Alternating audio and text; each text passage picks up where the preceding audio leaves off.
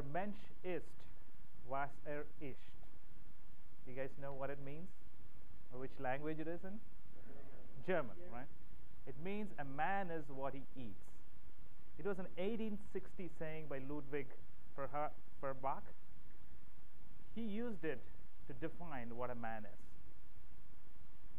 In, in, 80, in 18, 1923, a beef company used a similar logic for advertising. They said 99% of diseases are caused by the cheap food that we eat. So you are what you eat. That was their slogan. In the 1960s, the hippie movement took the slogan, you are what you eat, to define a healthy living with a holistic macrobiotic food for healthy living. As Kiran was talking about, your mind, body, and then the spirit or the soul, first you need to satisfy the Maslow's hierarchy of needs, the bottommost, which is your body. Right? You need to satisfy your mind and body, as you call it. But let me separate that out. It's a body, the physical part you need to satisfy. A holistic movement of the hippie movement that you think about, or the alternative medicine that, that's being practiced right now, it has to satisfy the physical needs and emotional needs. The physical needs is a basic need for the body that you need to consume something. What do you do something that is common, that's every day that you do? Is eat, right? You don't have to go to work. You don't have to have fun every day, but you got to eat every day, right? So regardless of whether you like it or not, you have to consume the good food. Once you satisfy that need, it helps you move emotionally to the next level.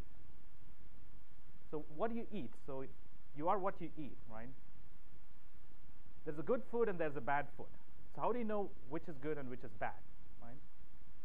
If you look at the popular items, let's take the popular items right now. Eat pizza, hot dogs, burgers, right? pastas, Chinese takeout, right? Pancakes with bacon and sausage, the steaks, nachos, ice cream, right? Chocolate chip cookies. Are these good for you? No. You may think it's good for you, but somewhere in there, you feel that it's a guilty pleasure, right? If you think the latter, it is correct. Okay? You can indulge on it, but that's not your staple food. There are so many things bad about it. By the end of this talk, you're going to know what is bad in there. Okay? I'm not going to tell the bad foods. I'm just gave you a highlight of the bad foods. I'm going to tell you what is a good food. Okay? The good food is the one which makes your heart healthy, right? It makes your brain think more, don't have depression or mood swings, right? And it makes your stomach feel okay, right? You don't have stomach cramps or digestion problems.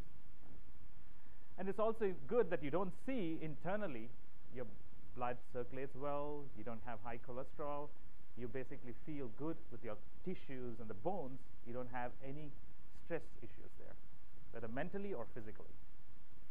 That's a good food. How do you get all these good things into you? A good food, as I mentioned, it has to have all these features physically and emotionally. There are basic food groups, as you know. I'm going to talk about it a little differently. What are the good? What is good? We eat fats, we eat carbohydrates, right? We eat proteins, right? All these, basically on these three levels, I'm going to talk about what is good for you. But apart from that, whenever we think of good food, everyone thinks about natural or organic, unprocessed, right? Raw food. I'm not talking about meat here. I'm talking about raw vegetables. You can eat raw food like fish, and it's good in itself on a different level. I'm going to come to that protein level. But any living natural food, what is good about it? Can anyone say? Why is natural food good? Exactly. That's the one. I think you read my speech. okay. It has food enzymes. What is good for? What is the food enzyme good for? Okay, I don't know. I think you saw my speech. Okay, digestion. Probably read the book from Gillian. Uh, no? Okay. So it's good for digestion, okay, and metabolism. The food enzymes are, you have nutrients, you have the vitamins and minerals in the, in the natural food in the natural state. They don't change. That's why natural food is good. But you can go to the organic side if you want it, but it, it's, it's not natural. You can have natural organic, but you can have processed organic food too. But you get the good things in organic because you don't get toxic chemicals. Okay? That's the only advantage. You can skip that if you, if you don't care about it. But the other part is the unprocessed food. Why is it good? Because you don't refine the food. You, you don't directly give a jolt, like Coca Cola, for example, right? It gives you a jolt. It's good for you for the moment. It has caffeine and other stuff. But if you take the carbohydrates, the good carbohydrates, good carbs, instead of refined sugar, natural sugar, which is in fruits and vegetables, what happens is it metabolizes slowly and easily. You don't want it, everything getting metabolized immediately.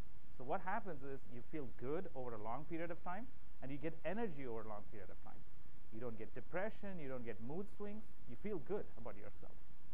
The fats, the good fats are, it's a bad name. Fats have a bad name, right? By, by meaning of fats, you think it's fatty. But you need fat, a little bit of fat in you. These are called the essential fatty acids. The EFAs are there in avocados, the fish, the meat, some of the meat products. Is that good in nuts? So you can eat. The fat is not good. The fat is not bad. It's good for you. So you got to be consuming good fat in order to. Some people call it the thins, not the fats. Okay. so you need to. In the end, I just want to throw up this challenge.